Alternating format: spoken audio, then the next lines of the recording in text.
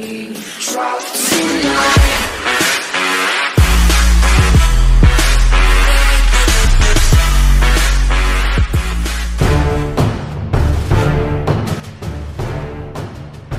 Audi R8 The Basics The MK2 R8 was launched in 2015, replacing the much-loved original that had been around since 2006. It is twinned with the Lamborghini Huracan, sharing the same high-revving engine and aluminium, composite platform. Said engine is probably one of the last of its kind. We re unlikely to see many more mainstream supercars with a cylinder count in double digits, cubic capacity starting with a 5, and without turbochargers. This time there's no manual version, all R8s using a 7-speed twin-clutch S-tronic gearbox, and all cars are all-wheel drive, although very much rear-biased. Emptying a little interesting mud into the waters, from early 2018 another, limited edition version called the R8 RWS joins the range, the odd name sounds like rear wheel steering, but actually stands for rear wheel series at LB rear wheel drive. That makes the car tested here, the R8 V10 Coupe, the cheapest, relatively speaking, route into all-wheel drive R8 ownership.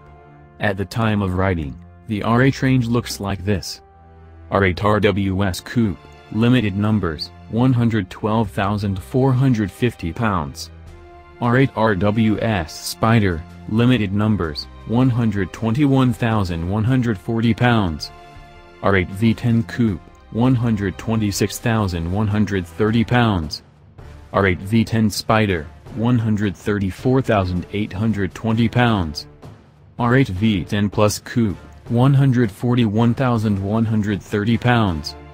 R8 V10 Plus Spider, 149,820 pounds.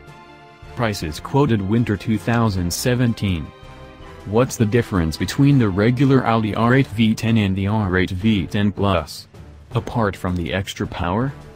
Sizable 69 bhp power hike aside, headline R8 V10 Plus upgrades include 40 kilograms weight reduction, ceramic brake discs, shorter gear ratios, stiffer suspension, fixed carbon rear wing, extra performance driving modes.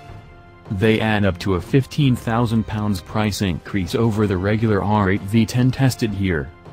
In a previous diary entry in our long-term Audi R8 V10 Plus test, I compared the Plus back-to-back -back with a regular V10 and in many ways I still believe the more affordable model is actually the better road car.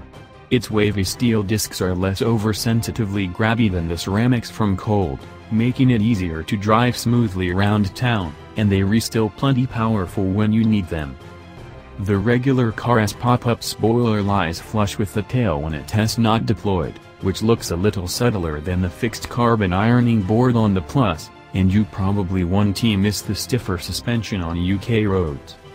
What you do miss with the regular V10 Plus is bragging rights. It's slower from 0 to 62 miles per hour, 3.5 seconds for the V10 versus 3.2 for the V10 Plus, and at top speed, 199 miles per hour versus 205, if that matters to you.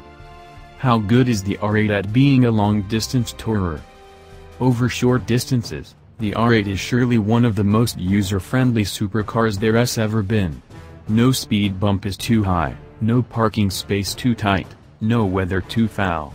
My main reservations about a long trip, based on many long motorway schleps and our long-termer, is the seat's lack of lumbar support, and the seriously small boot.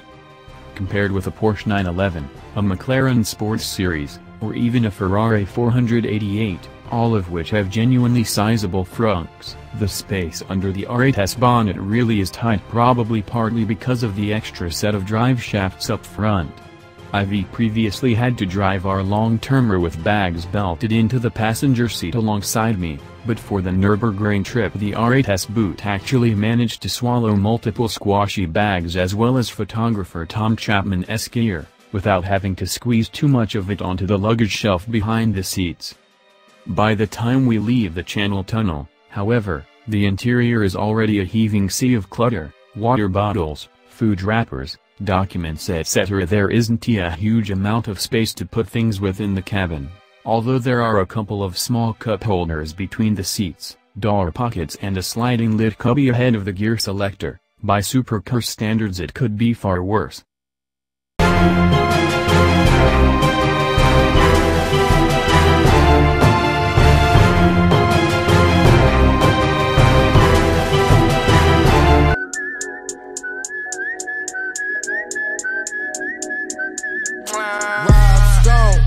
Phones, Babylon's came.